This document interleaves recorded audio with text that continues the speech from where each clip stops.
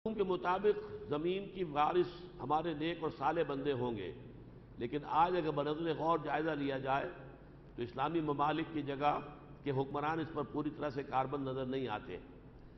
इस्लामी ममालिक के हुक्मरानों के अलावा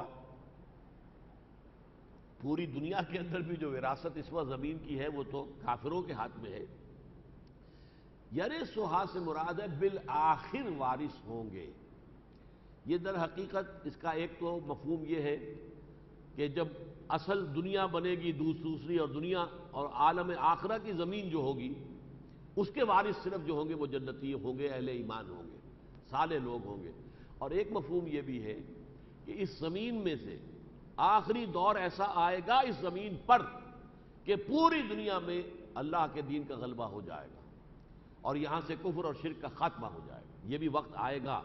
इसकी खबरें दी हैं मोहम्मद रसूलुल्लाह सल्लल्लाहु अलैहि वसल्लम ने कि ला यबका अला ज़ाहरिल बैत वदनी वाला बाबनी कलमत इस्लाम। इस ज़मीन पर कोई ईंट गारे का बना हुआ घर रहेगा और न हैवानात के बालों के बने हुए कंबनों कंबनों का कोई खेमा रहेगा जिसमें अल्लाह कलमा इस्लाम को दाखिल न कर दे। तो पूरी ज़मीन के वारिस अहले ईमान हो जाएँगे, इस ज़मीन के भी क़यामत से कबल।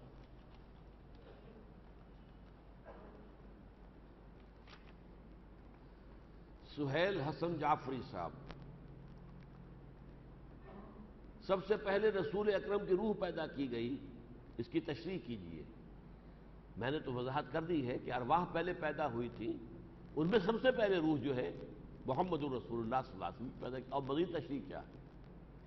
लफ्ज सादात की सही तशरी क्या है? वैसे तो अरबी जबान में असैद जो कहते हैं, वो सिर्फ़ मिस्टर के मानी में आता है।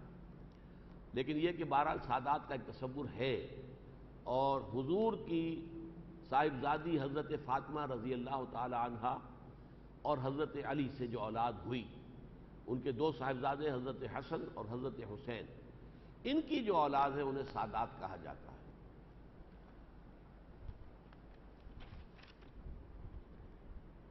अब ये आ गए, सैयद अब्दुल कदीर अली साहब आ गए, देखिए सैयद साहब आ गए। दर्स में जहन्नुम के बारे में ये आपने बताया कि इस दुनिया को जहन्नुम बनाया जाएगा, उसकी मजीद वजाहत मजीद वजाहत की ज़रूरत नहीं। देखिए, ये जो आखरत और आलम बरसख और योम क़्यामत के वाक़ात हैं, इनकी ज़्यादा गहराइयों में हम नहीं जा सकते। एक गुमान मैंने कहा कि जहन्नम जो है वह जी आ योम जहन्नम, ले आई जाएगी जहन्नम।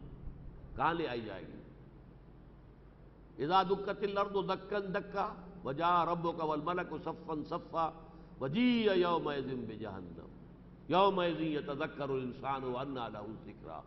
ज़मीन को कूट कूट कर, कूट कूट कर चपटा कर दिया जाएगा। दूसरी जगह कहा इधर अर्दो मुद्दत ज़मीन को खींच दिया जाएगा। फिर इसी ज़मीन पर नजूर अल्लाह ताला फरमाएँगे। कैफियत हम नहीं जान सकते। फरिश्ते आएँगे। तमाम इंसान भी खड़े होंगे। लकत जे तो मुना कमा हलक नाकुम अव्वल मर्रा। ये सारे मामला जो है, ये तो है यकीनी बातें। कुरान में है, हदीस में है। बाकी ये कि जहन्नम यही होगी या नहीं होगी, ये मेरे गुमान के दर्जे में है कि दर हकीकत इसकी जहन्नम जो है, इसी में से बरामद हो जाएगी। वल्ला आलम। लेकिन इसकी मजीद किसी शराब में और तफसील में जाने का कोई फ़ायदा नहीं। बल्कि आप ये भी कह सकते हैं कि आप भी ये ना ही कहते तो अच्छा था। मैं भी अगर ये बात ना कहता तो अच्छा था। खुबैब सिद्दीकी रोज़ क़यामत अल्लाह ताला जो जिसम अता फरमाएगा, क्या उस जिसम में यही यकीनन यही रूह होगी उसमें? रूह और उसके साथ हमारा नफ्स जान, जो हमारे हैवानी जो वजूद है, उसके अंदर असल उसकी शायद जान है। अब हैवानात के अंदर जान तो है, गधे में, घोड़े में, बिल्ली में, क्या है? जान तो है, रूह नहीं है। हमारे अंदर दो चीज़ें हैं, रूह भी है और जान भी है। रूह और जान ये दोनों कब्ज कर ली जाएँगी। और फिर जो नया जिसम दिया जाएगा, उसके अंदर इनको वदियत कर दिया जाएगा। ये है वो बात कि जो कुरान मजीद के मुताले से समझ में आती है। वल्ला आलम। अगर नहीं होगी तो वजाहत फरमाए, नहीं, मैंने कहा होगी। ये रूह उसके अंदर शामिल होगी। वसीम अहमद साहब,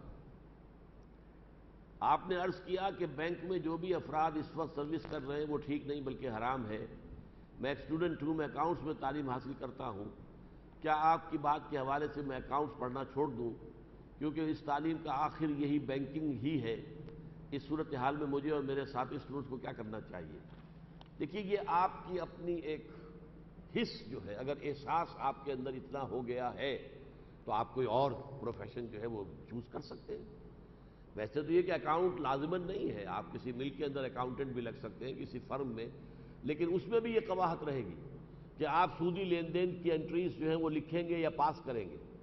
ज़ाहिर बात है कि तमाम जितनी भी फर्म्स हैं, उनके अंदर सूद का पैसा इन्वेस्ट होता है। तो बेहतर यही है कि आप इस प्रोफेशन को छोड़ दें, कोई और प्रोफेशन इख्तियार करें। तुम नहीं, और सही, और नहीं, और सही। अल्लाह ताला जो है वो रिस्क दे देगा। अगर ये एहसास आपके दिल में जागजी हो जाए और आप अपना ये प्रोफेशन तर्क कर दें तो ये बहुत ही काबिल मुबारकबाद बात होगी। ख्वाजा अहद साहब when Allah subhanahu wa ta'ala is the doer of all we do, then up to what limits we should strive for a goal. We have to strive to our utmost. लेकिन होगा वही जो अल्लाह की इजाज़त होगी ये नहीं है बगैर हमारे किए कुछ अल्लाह नहीं करेगा क्यों करेगा आप करेंगे अल्लाह मंजूर करेगा उसका नतीजा ज़ाहिर हो जाएगा तो मेहनत आपको करनी होगी गंदुम पैदा करने में मेहनत आपको करनी होगी, हल आपको जोतना होगा, ज़मीन जो है, आपको उसको सैराब करना होगा, बीज डालना होगा, फ़सल की देखभाल करनी होगी, तब गंदुम आएगी। लेकिन इन सारे कामों में इजन रब शामिल है। अगर अल्लाह चाहेगा तो आपकी सारी मेहनत जो है रायगा चली जाएगी। सारी मेहनत आपने की और वो जो है पूरी की पूरी जो है कोई पाला पड़ गया या कोई ओले आ गए और आपकी सारी मेहनत ज़ाय हो गई। तो इस हवाले से जहन में ये रखिए कि अंजाम कार नतज अल्लाह के इज़्न के बगैर नहीं निकल सकते हमारा टोटल डिपेंडेंस हमारा जो भरोसा और जो हमारा तवक्ल है वो इसबाब पर ना हो number two in the same way if we approach a person of standing for having some work done. What is breaking point when our belief is taken as shirk that that person can do it? Yes, बहुत उमदा है सवाल ये भी देखिए, आप किसी शख्स से कहते हैं कि, भाई, मुझे पानी पिला दो। आपको मालूम है, पानी है, घड़ा है, ये है, वो है, रखा है, वो जाएगा, ले आएगा। इसमें कोई शिरक नहीं है। आम आदि जो, और जो मादी कवायद जवाब दुनिया के हैं, वसाइल जरा उसके अंदर किसी से किसी काम के करने की रिक्वेस्ट करना शिरक नहीं है। लेकिन गैबी, मावराई, इनविजिबल तरीके पर अगर आपने किसी को पुकारा ए फरिश्ता, मेरा ये काम कर दे। या है, रूह है अब्दुल कादिर जीलानी, मुझे इस मुश्किल से निकाल दे, ये शिरक हो जाएगा इस हवाले से ये शिरक में और दुनिया में दुनियावी इसबाब के तहत किसी से कोई ताउन हासिल करना, इनमें ज़मीन व आसमान का फ़र्क है। अलबत् एक आरिफ इंसान की बात मैं आपको सुनाता हूँ। मैं समझता हूँ कि बहुत गहरी बात उन्होंने कही। फ़र्ज़ कीजिए कि आप समझते हैं किसी शख्स के बारे में कि वो आपकी कोई ज़रूरत पूरी कर सकता है। आपने जाके उससे कहा, भाई, मेरी ये ज़रूरत है, पूरी कर दीजिए। फ़र्ज़ कीजिए, उसने सुनी, अनसुनी कर दी। आपने दोबारा कहा, फिर भी वो सुनी, अनसुनी कर रहा है। आप तीसरी मरतबा कहते हैं तो वो बुज़ुर्ग कहते थे, अब आपने शिरक किया है। आप समझते हैं कि इसी के हाथ में है आपका वो काम। हालाँकि हाथ में अल्लाह के है। वो तवज्जो पहली मरतबा कह देना कोई हर्ज नहीं है। दूसरी मरतबा कहना भी अच्छा नहीं है, पसंदीदा नहीं है। लेकिन तीसरी मरतबा कहना, यानी ये समझना कि बस यही मेरा ये काम कर सकता है। ये एक दर्जे में शिरक की शक्ल बन जाती है। आप समझे कि अल्लाह ताला को अगर मंजूर होता, मैंने उससे कहा था, अल्लाह ताला उसके दिल को फेर देता, और वो बात हो जाती। अब नहीं है, वो एराज कर रहा है। तो गोया के मुसलसल इसरार करना जो है, वो इन चीज़ों के अंदर भी एक शिरक सी, किसी कैफियत पैदा कर देता है। हसन कासिम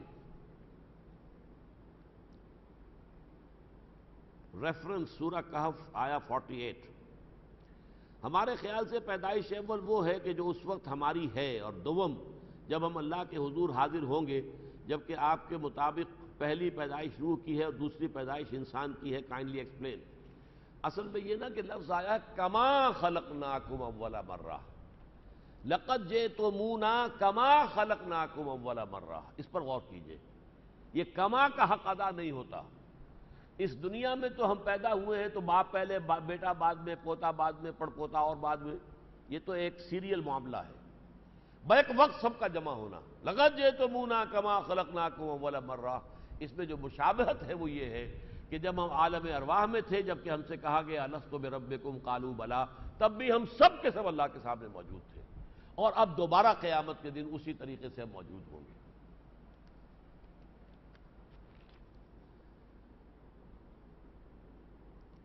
मोहम्मद वसीम साहब, मेरा सवाल यह है कि मदद सिर्फ़ अल्लाह ताला से मांगनी चाहिए, अगर हम जैसा कि सुनते और कहते हैं, या अली मदद क्या ये भी शिरक में दाखिल है? यकीनन ये शिरक है। किसी को भी पुकारना। और ये अल्लाह का शुक्र है कि अगरचे हमारे यहाँ जो बरेलवी मकतब फ़िक्र है, वो या मोहम्मद कहने को तो सही समझते हैं और लिखते भी हैं मस्जिदों में, लेकिन या मोहम्मद मदद कभी नहीं कहते हैं। ये अल्लाह का शुक्र है। ये जुल्म जो है हज़रत अली ही पर होता है रज़ी अल्लाह तन और हुजूर ने फरमाया भी था कि अली, तुम्हारे साथ वही सलूक होगा जो मेरे भाई ईसा के साथ हुआ था। कुछ लोगों ने उनकी मोहब्बत में गुलू किया, उन्हें खुदा का बेटा बना दिया। यहूदियों ने उनकी अदावत में इंतहा की और कहा कि वो तो जो है वलदुजना है और ये है और वो है और काफिर है मुर्तद है और सिर्फ़ सूली पर चढ़ाए जाने के काबिल इस तरह हज़रत अली को कुछ लोगों ने खुदा बना दिया। हर चंद खुदा की जात नहीं है अली की जात, लेकिन नहीं है जात खुदा से जुदा अली। अब ये ऐसे ऐसे शायराना ख्याल जो हैं, और मशगूल हक हूँ बंदगी बू तराब में, ये गालिब साहब कह रहे हैं। मैं अबू बू तराब जो है हज़रत अली, जो हजूर ने खिताब दिया था, कुम या अबा तराब तो वह, मैं उनकी बंदगी करता हूँ, अल्लाह की नहीं, उनकी बंदगी करता हूँ, और उनकी बंदगी करने में असल में अल्लाह की बंदगी कर रहा हूँ। तो ये दर हकीकत मुशरकाना चीज़ें हैं जिनसे अपने आप को बचाना चाहिए। अच्छा जनाब, बहुत शुक्रिया। सवालात पूरे हो गए। अल्हम्दुलिल्लाह हदाना व माकुन्ना लनहतदी हदान अल्लाह। सुबहानक अल्लाहुम्मा व बिहम्दिका नशहदु अल्ला नस्तगफिरुका व नतूबु इलैक।